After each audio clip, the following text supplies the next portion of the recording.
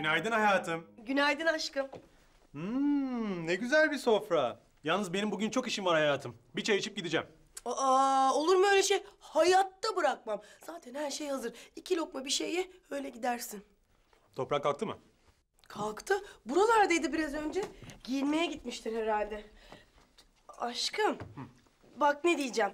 Şey, sakıncası yoksa diyorum. Bugün toprağı kreşe sen bırakır mısın? Hayrola? Her zaman ben bırakacağım, ben bırakacağım diye can atıyordun. Ne oldu? Evet ama o zaman sihirlerim vardı. Şimdi o kadar yolu otobüsle çekemem. Ne olacak canım? Bugün benim de çok işim var. Önce Betüş'e gideceğim, oradan anneme gideceğim. Eda, umarım korktuğumuz başımıza gelmez. Aa, niye canım? Ben bir kardeşim olmasını çok isterim. Hem sen bunları bırak da toprağı kreşe götüreceksin değil mi? İyi, götürelim bakalım. Yalnız çok çabuk olsun tamam mı? İyice trafiğe kalmak istemiyorum. Tamam tamam sen kahvaltını yap. Ben de gidip ona bakayım.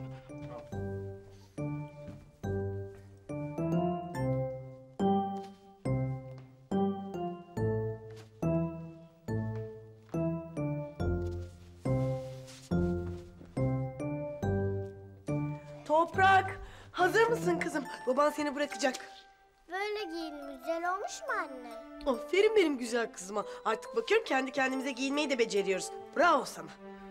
Anne, bu yeni kreşe gitmek mi zorundayım? Aa, Toprak, o ne biçim soru öyle? Bak, kreşe gittiğin zaman Cem'le, Çilek'le, Ceren'le hepsiyle aynı binada oluyorsun. Yani böylelikle onları daha çok görebiliyorsun. Ya anne demezsin, hiçbiri benimle ilgilenmiyor. Ne zaman yanlarına gitsem kendimi fazlalık gibi hissediyorum.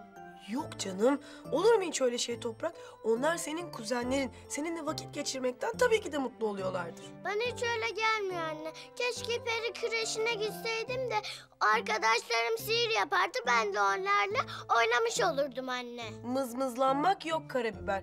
Zaten sihirlerini geri aldığında yapacağın sihirler yeter de artar bile.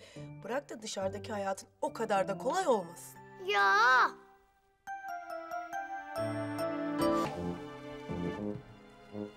Taci, Efendim? Dudu inmedi mi daha?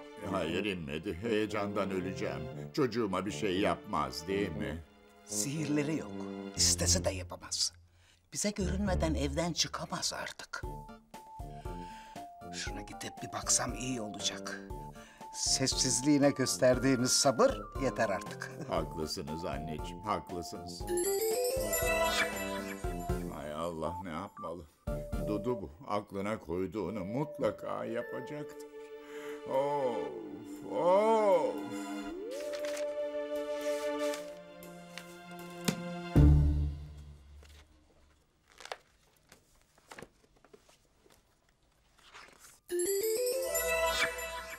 Sihirli sabahlar. Sihir olsa amenna. Ne yaptığını sorabilir miyim? İyi bir jinekolog peri arıyorum. Bu çocuktan vazgeçemezsin. Anne, 450 yaşındayım. Bu yaştan sonra bebek büyütemem. Hele babasız hiç. Babası var, aşağıda. Evet, aşağıda var bir babası ama köpek. Baba gibi baba yapmak senin elinde. Bunun gibi baba olmaz olsun. Kötü konuşma. Karnında o adamın çocuğunu taşıyorsun. Beni tekrar aldatacağını bilseydim ne onunla yeniden evlenirdim ne de koynuna girerdim. Seni aldatmamış ki. Ah, hep aynı masal. Sen zaten hep kıskançsın. Kuru yerden nem kapıyorsun. Anne, sen odama Taci'yi müdafaa etmek için mi geldin? Bu çocuğu Taci de ben de istiyoruz. İyi o zaman, birlikte bebek yapın. Aa! Seni gidi terbiyesiz seni. Seni ne dediğini bilmez densiz seni. Anne, lütfen odamı terk eder misin? Beni yalnız bırak. Bir daha da hayatıma karışırsan sonsuza kadar sana küs kalırım.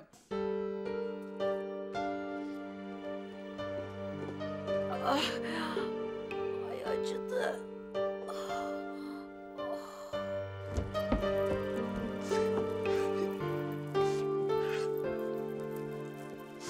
Anneciğim, neyiniz var? Hoppa, iyi misiniz? Hayır. Sinirlerim boşaldı. Ne oldu?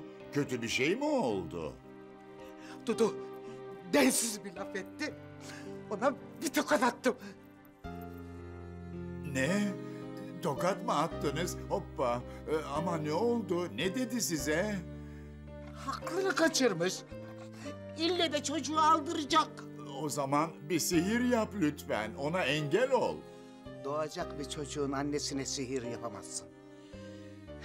Bir çocuk dünyaya gelecekse buna ancak anneler babalar karar verirler. Ama ben onu istiyorum. Çok istiyorum. Ama Dudu istemiyor. E, yazı mı atacağız?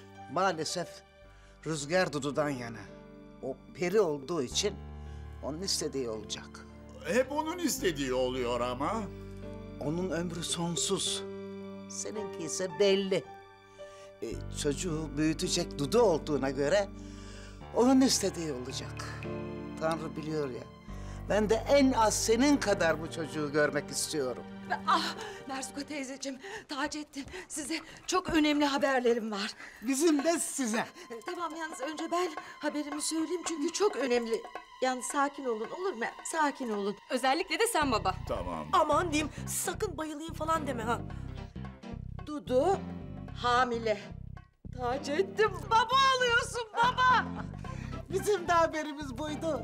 Aa, Bonjour yani. aa. E, ne, ne- ne, ne zamandan beri biliyorsunuz Merzuka teyze? Bu sabah emin olduk. Dudu örmeye başlamış.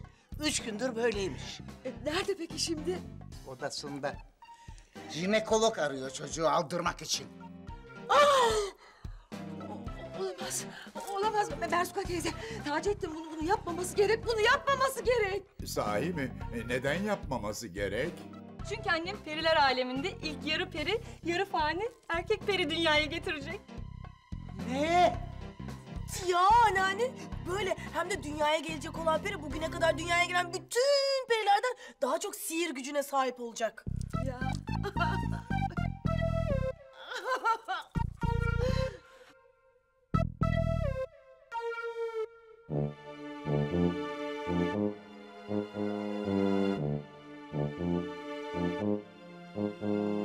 Aa kesin.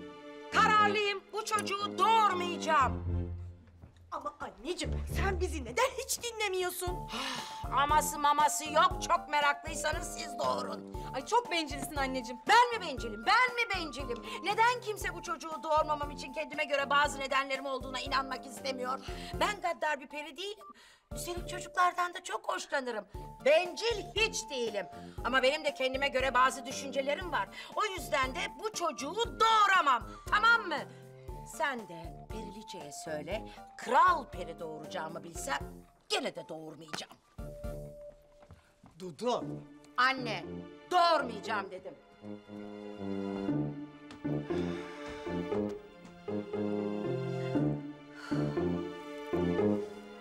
Kanalımıza abone olarak tüm videolardan anında haberdar olabilirsiniz.